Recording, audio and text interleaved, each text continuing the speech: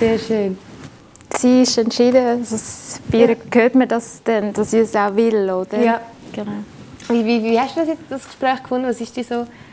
Ja, also wir haben eben gehört, sie hat noch Kriterien erwähnt, die mhm. Eltern haben gewisse Kriterien und dann hat sie noch gesagt, Angst, was passiert denn, wenn ich aus Leben heirate und das scheitert, mhm. habe ich nachher noch die Unterstützung der Eltern. Oder? Ja. Ich glaube, das eine oder das andere, ob es Liebesheirat besser oder arrangierte Heirat besser oder dass du deinen Partner oder Partnerin irgendwo in Online-Plattformen ja. kennenlernst, es ist alles, Hauptsache du entscheidest selber. Mhm. Es ist dann deine Wahl und wenn du dann kannst sagen, jawohl, ich will das, und dann finde ich, es ist es auch in Ordnung, legitim, ja. oder? Ja. Ähm, ich frage mich dann auch, vielleicht wäre noch gut, um Derscha fragen, auch die Kriterien, die ihre Eltern haben, eben sie hat zum Beispiel Bildung erwähnt, ja. Status, äh, Kastensystem hat sie erwähnt, was im Hinduismus sehr wichtig ist, und ähm, die Hautfarbe kann manchmal sein und dann auch familiärer Hintergrund. Das sind so die Kriterien der Eltern. Mhm. Wichtig ist natürlich bei der arrangierten Heirat, dass die Kriterien nicht deine Kriterien widersprechen. Ja es kann sein, zum Beispiel, ich weiß es nicht, vielleicht kann der schon dann sagen, ähm, vielleicht will sie einen Mann, der so humorvoll ist, ja. vielleicht sportlich,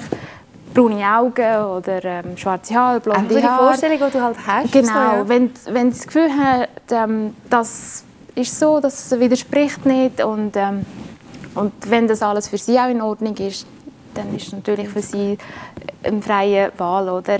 Wenn es Widerspruch gibt zu den Kriterien, dann müssen wir natürlich dann entscheiden, bist du dann auch bereit, einen Kompromiss einzugehen? Mhm. Sozusagen, dass du dann sagst, okay, meine Kriterien sind nicht erfüllt. Ja. Ist das jetzt ein Zwang für dich? Du hast das Gefühl, ähm, ich mache jetzt einen Kompromiss, wo, mir das nicht gefällt. Ja. Das ist dann immer auch die Betroffene, auch, sag ich mal, Brut oder Brütigam, ja. künftige Brut oder Brütigam, sie müssen es dann entscheiden. Wir können wie ihnen den Weg zeigen, aufzeigen, so ist das, ähm, das und das sind Konsequenzen, so sieht es aus. Genau. Ja. Ich meine auch bei einer Liebesheirat, wenn ja. du in einer Liebesbeziehung bist und du willst dann heiraten, ja. dann musst du dann auch alles ähm, überlegen. Ja. Man sagt ja auch, Liebe ist vergänglich und Liebe ist blind, was auch immer. Also da müssen wir auch viel überlegen und dann sagen, wie läuft es nachher die Beziehung. Zum Punkt, dass wir dann nachher ähm, zu den Eltern gehen können, Vielleicht sie ist ja jetzt 19, es kann sie als Jugendliche denkt sie, ja, was passiert, wenn ein Problem kommt. Wenn sie dann später erwachsen wird, ich glaube, dass da schon auch ähm, in der Lage sein wird, dass sie dann auch ihre Probleme auch kann selber lösen kann. Das ist dann auch wichtig, wo, man, wo der Jugendliche will denken, wäre ich dann in der Lage, dann meine eigenen Probleme zu lösen. Ja. Und ich glaube, und ich glaube, das, das könnte, also das könnte zweite Generation oder äh, Personen wie Darsha ja. Sie haben Fähigkeiten, sie haben Ressourcen. Sprachlich sie reden gut Schweizerdeutsch, ja. auch Hochdeutsch. Hat natürlich auch bessere ähm, Berufsstands als mhm. Eltern.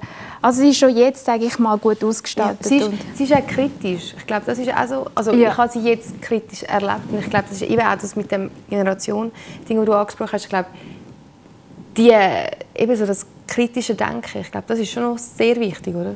Genau, also bei ihrem Fall sieht man, dass, dass sie sehr klar ist, was mhm. sie will. Ja. Und, und, ich glaube, wenn eine Person wirklich weiß, was sie will oder was er will, dann ähm, ist es klar. Es ist eben auch so, es gibt drei, ich sage mal ganz kurz, es gibt eben drei Positionen bei arrangierten Heiraten. Es gibt ja. die eine Position, sie sagen, es gibt ja eine Heteronormativität. Das heißt, mhm. wir müssen irgendwann heiraten und das, das, das Wann ist auch schon definiert ja. und das Ob gibt es keinen Platz. Das sind vor allem mhm. auch liberale Frauenrechtlerinnen oder Feministinnen, auch radikale Feministinnen, die diese Position vertreten und sagen, jede arrangierte Heirat ist auch ein Zwangsheirat. Okay. Weil es ist eine Erziehung zur Ausweglosigkeit. Ja.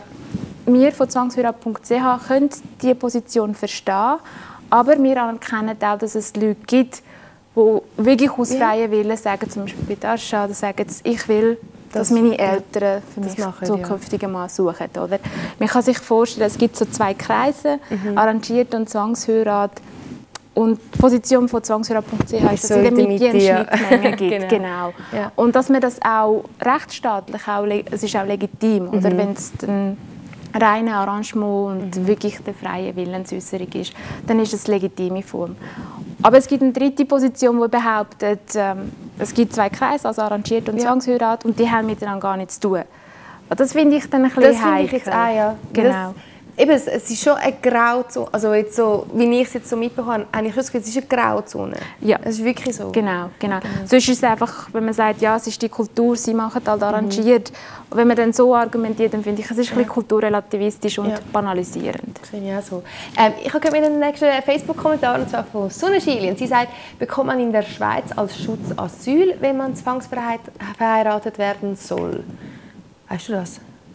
Also im Jahr 2006 hat die damalige Asylrekurskommission in einem Fall entschieden, ähm, den Äthiopierin, dass sie ähm, also Asyl der Schweiz erhält. Auch ja. Wir haben, also ich will jetzt nicht sagen viel, mhm. ähm, ein einige Fälle haben wir auch, wo wir ähm, versuchen, dass die Person in der Schweiz dann einen Schutz haben dass sie einen besseren Schutz hat in der, in der Schweiz. Okay. Sehr gut. Ähm, meine Lieben, wir reden so viel, dass wir jetzt mal eine Pause brauchen. Ihr auch, damit ihr euch vielleicht noch vom Wundschreiben könnt erholen könnt. Darum gehen wir gar in die Werbung. Und nach der Werbung werdet ihr erfahren, was man machen kann, wenn man vor so einer Situation steht oder wenn ihr jemanden kennt, der in so einer Situation ist. Darum bleibt dran, das ist ganz wichtig. Und bis gleich.